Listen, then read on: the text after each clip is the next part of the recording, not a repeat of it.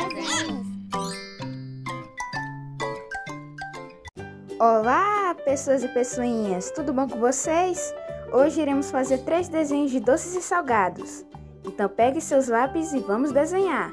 O primeiro desenho que iremos fazer será um lindo cupcake de aniversário com cobertura e confetes.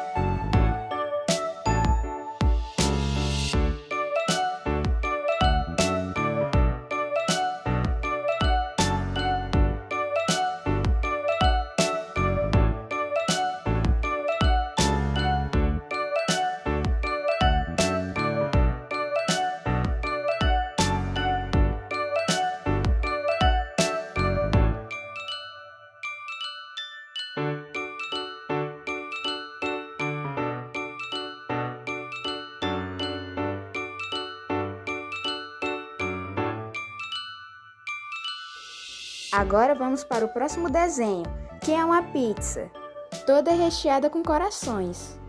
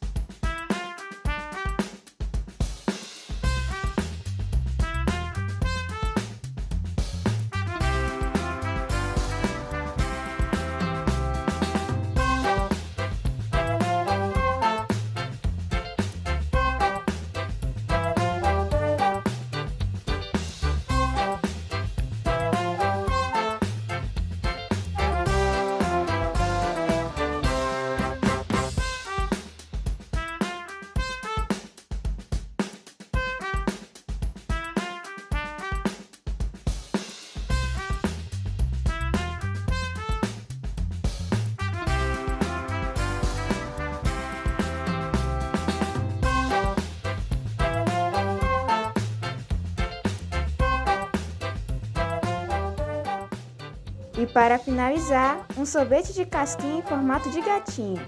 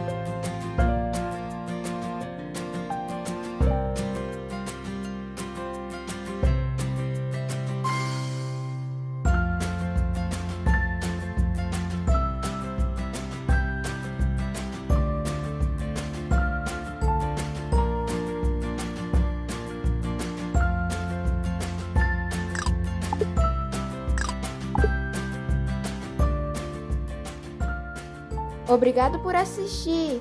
Nos vemos no próximo vídeo. Tchau!